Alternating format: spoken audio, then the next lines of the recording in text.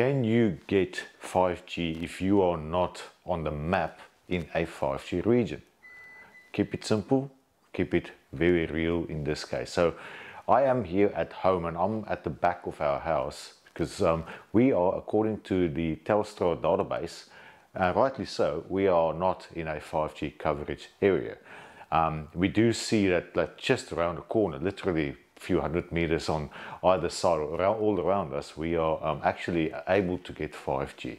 So what I have here to demonstrate today at home is my RUTX50 with a Telstra SIM card in here, as you can see down below.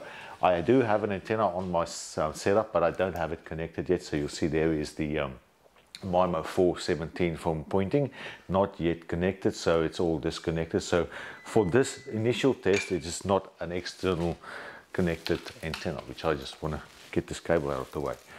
Um, right, so we have this thing, and I am connected, so I just want to show you as well on the um, data what it looks like. So I'm just going to do my connection.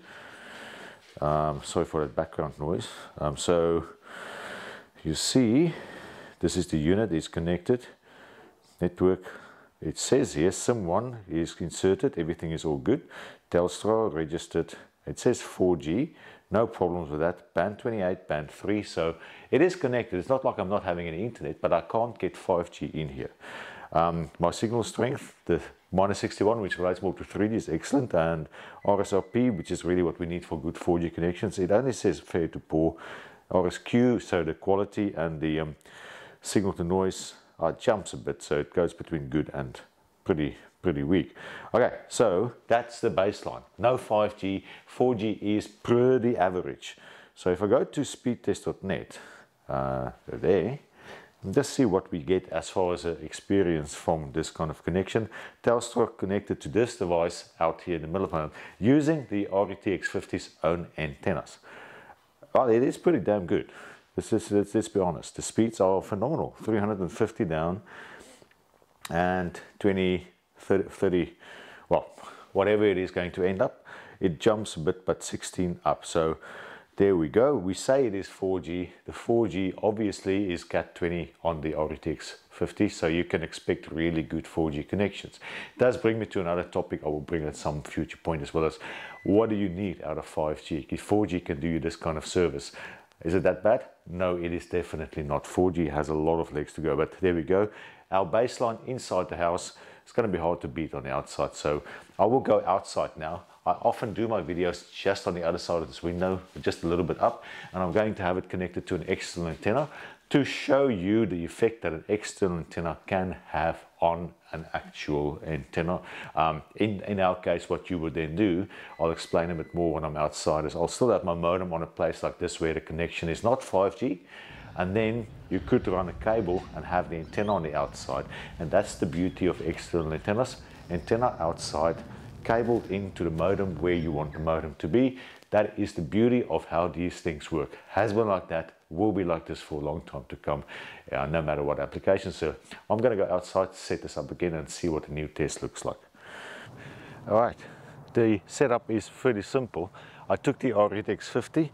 I'm going to talk at some point about my setup here because this is just a lightweight tripod on our website. Um, I'm using a DIN rail, which I just use the U-bolt to connect to the um, device itself. I also have enough space or can make longer versions so that I can have the BAT 120 or other auxiliary stuff as well connected to this simple and compact um, and pretty portable 4G, 5G connection system. So my RTX 50 connected with the cables to the MIMO 417.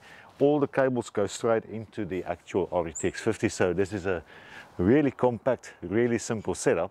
I am literally just 10 meters away from where just at my 4G test and I didn't have any 5G because Telstra tells us we are not really in a 5G bubble, but we do know there's 5G all around us in sub, um, surrounding suburbs. So let me connect to this device and let's see what we get in terms of our um, connection quality. So I'm going to record my screen. Okay, I am on. I am connected to the RTX 50 and it is connected to the 5G internet. As you can see there, registered home Telstra, Telstra 5G, VO, um, VO LTE. So it's all looking pretty much as you would hope, which is not what Telstra tells you because they tell you that on basic um, basic phone and indoor level um, connection. So just going through the connection quality again. Um, you can see there it still reads the same type network type LTE B1. Uh, it still has readings that are, um, I don't know, debatable, but the proof is in the pudding. So as an end user, that's exactly what you see on the screen is what readings are at on the indoors. So I'm just going to repeat and fingers crossed it works. Otherwise I have to reshoot the video. Not really. This is about being real. So I get what I get and that's how I want to share it with you.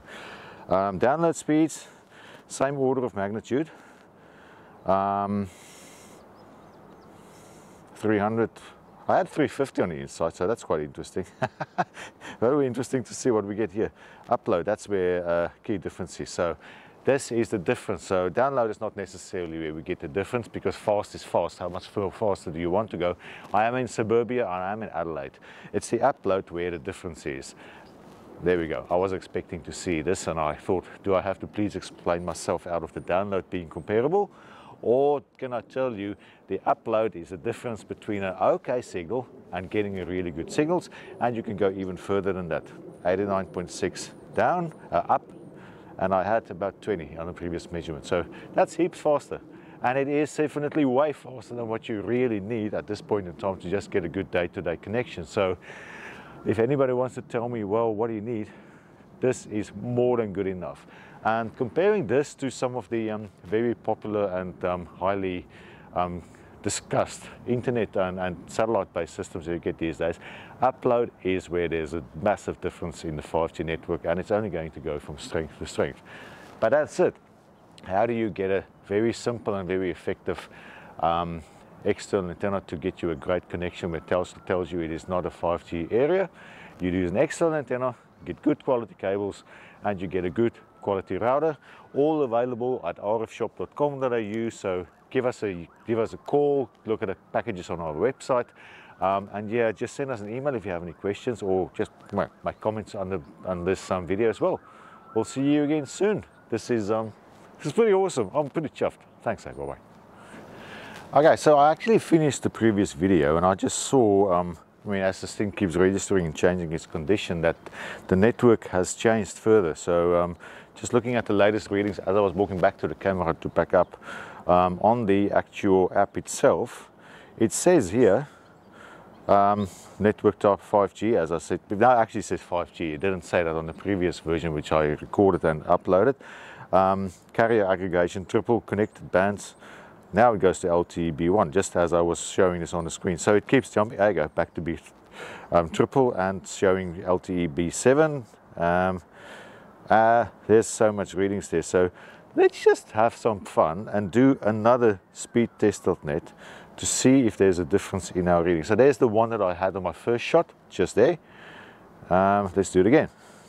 Oh, nice.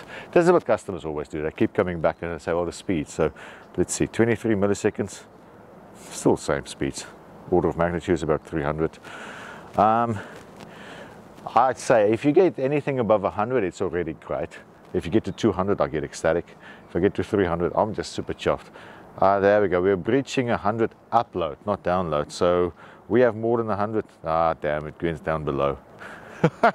See, when you are really getting used to good connection, you kind of complain when you only have 97 upload. That is phenomenal. I thought I want to share you this, and this was just I saw the results. I thought might as well add that to the video. This is phenomenal.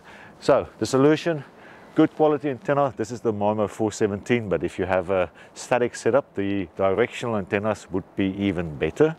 Um, this is great for caravan or for a um, marine application, and it's very portable. So if you go camping in a tent or something, there you go. Just take your 5G kit with you. No problems at all.